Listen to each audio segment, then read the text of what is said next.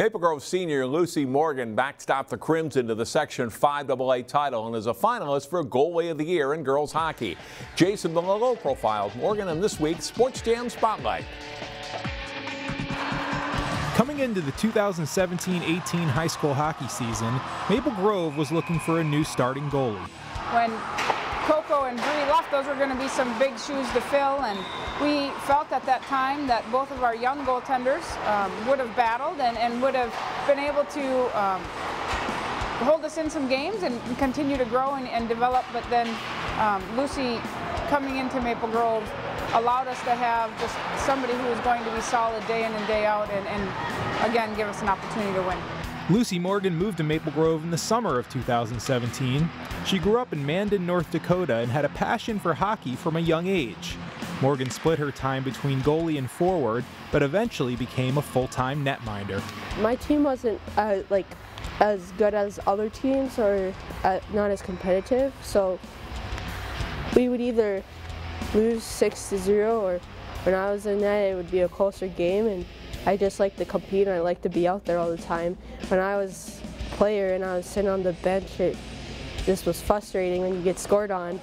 Youth hockey in North Dakota isn't on the same level as Minnesota, and Morgan often played in boys' leagues to challenge herself.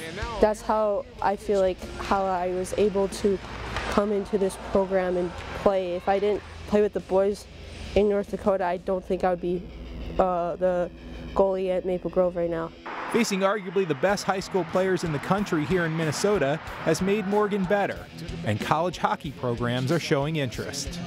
I've been talking to uh, some D1 schools, yeah.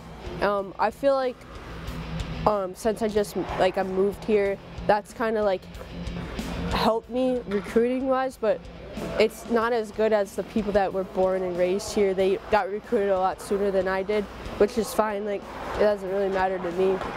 College hockey is probably in Lucy Morgan's future.